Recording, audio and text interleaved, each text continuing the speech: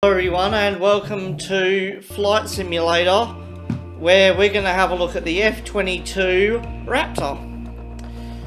So before we do that I'm going to just lower the sound a little bit, cool.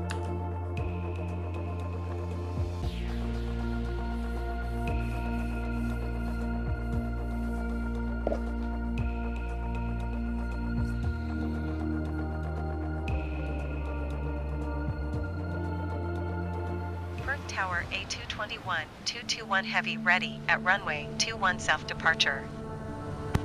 cool. At 221.2, 21 heavy altimeter, 29er decimal niner, 2 wind 272, at 6.